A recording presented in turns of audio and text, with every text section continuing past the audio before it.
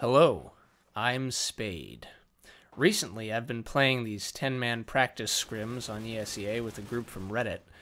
It's a lot of fun, but I've realized that I'm horrible with every gun that isn't the AK 47. For example, right here, I basically just luck out with the M4.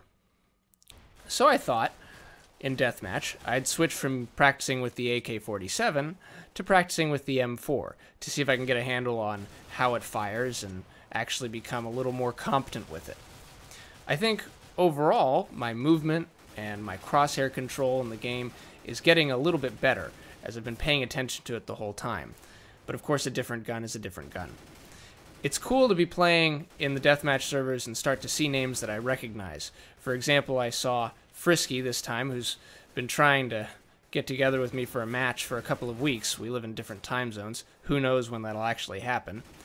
And I also think I saw Mr. Waffles in here.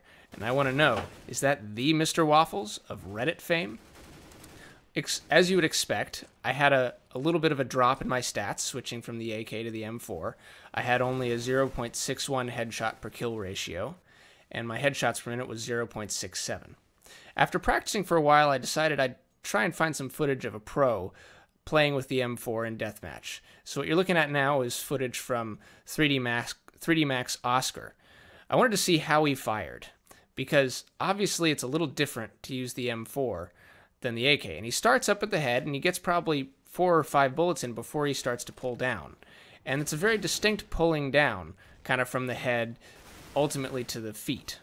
I think this is probably just because it's a different beast and because you can't get the one shot headshot like you can with the AK. It's just a different style of shooting. So I hopped back into Deathmatch after watching that footage from oskar and tried out a little bit of that myself. I tried to emulate the way he was moving from the head to the feet as he fired and at that same rate. And I think I had a bit of an improvement in in just my consistency. I think I got fewer headshots, but that's just the nature of the beast. It's a different gun. And I think probably if I keep up this kind of practice, I'll actually get to a point where I'm I'm really worthwhile with the M4. And of course that'll make a huge difference as I continue to try and play a little bit competitively where you have to play as the CTs. Spade out.